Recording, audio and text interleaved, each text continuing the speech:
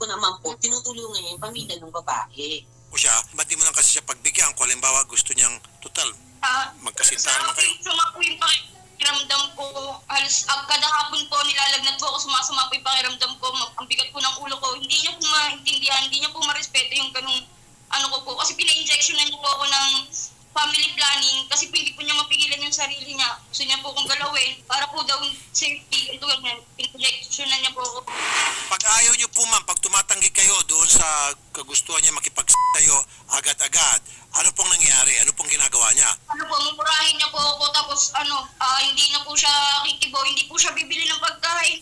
Kung si Tekla nga, kung yung ugali niya ganun siya sa pagdating sa sex o pagdating sa ganito, pagdating sa ganyan, dapat in two or uh, first month, second month, three months, nakita na ni Michelle na hindi maganda si Tekla kasama. Sa, nakipag-iwalay na dapat siya. Pero inisip ko, bakit tumagal kayo ng four years na nakikisama ka pa rin kay Tekla kung ayaw mo ng ugali niya? Okay, sige po ma'am. Para maging fair tayo dito, ah, Miss ah, Donita.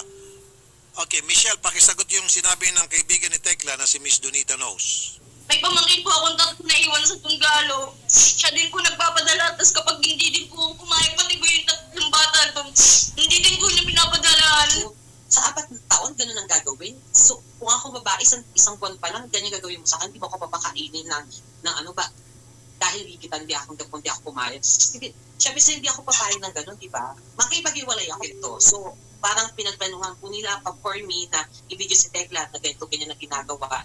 Thank you, thank you, Miss Donita. Alright.